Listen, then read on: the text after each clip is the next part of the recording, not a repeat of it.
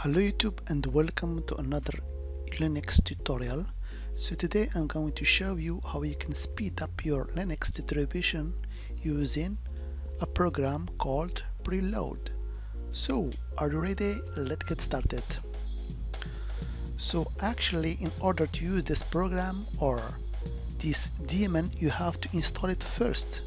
So here for example I'm using uh, Ubuntu so the first thing I need to do is to install it. And installation is pretty simple.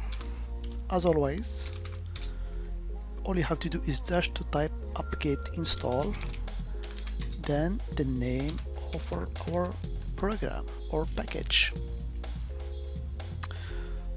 which called preload. Me I already done that so the program is already installed Actually, it's a daemon that runs in the background and keep track of all the most used application. So it will preload or pre-charge all the, the libraries that your program needs in order to launch them very fast in the next time. Okay, so when you install it, it's done. You have to do nothing and it will keep track of all the application you are using so they will launch very fast the next time. Okay?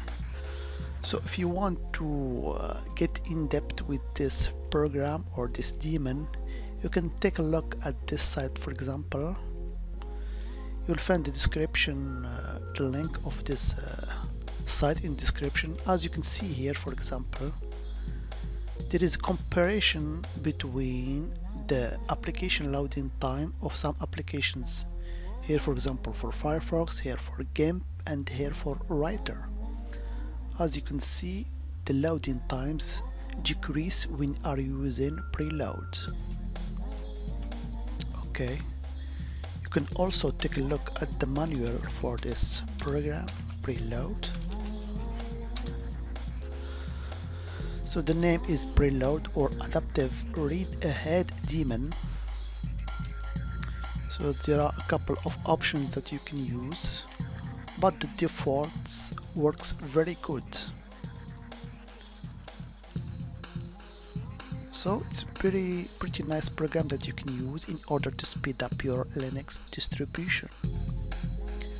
As always, I hope it has been informative for you and I want to thank you for viewing. Bye bye.